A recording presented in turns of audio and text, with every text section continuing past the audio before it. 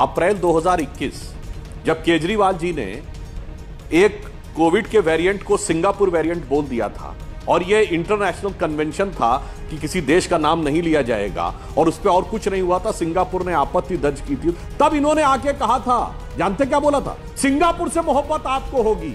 Singapore का ध्यान रखना आपका काम है। हमें सिंगापुर से क्या लेना देना? और आज गजब का लेना देना है। कि मेयर की कॉन्फ्रेंस में दिल्ली का चीफ मिनिस्टर जाने को तैयार है, इतना सिंगापुर से लगाव है। और सच कितना बोलते हैं, झूठ कितना बोलते हैं, मैं दर्शकों से कहता हूँ, जाकर उस प्रेस कॉन्फ्रेंस को चेक कर लीजिए। उसमें मनीष सिसोदिया जी और आम आदमी पार्टी के दर्जनों नेताओं ने बोला था कि हमारे बच्चों का वैक्सीन विदेश भेज दिया। हमारे बच्चों का वैक्सीन सिंगापुर भेज दिया, जबकि अप्रैल 2021 तक पूरी दुनिया में कोई बच्चों का वैक्सीन नहीं बना था।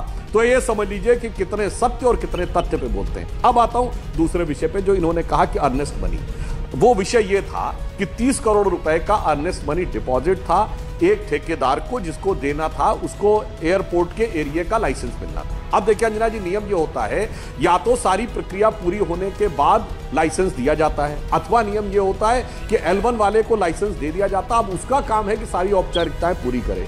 एयरपोर्ट अथॉरिटी से उनको क्लियरेंस नहीं मिला। अब दो में से एक बात है, यदि शर्त यह थी कि जिसको आवंटित हुआ, उसी को पूरा करना था तो फिर उसका अर्नेस्ट मनी जब्त हो जाना था क्योंकि उसका उत्तरदायित्व था।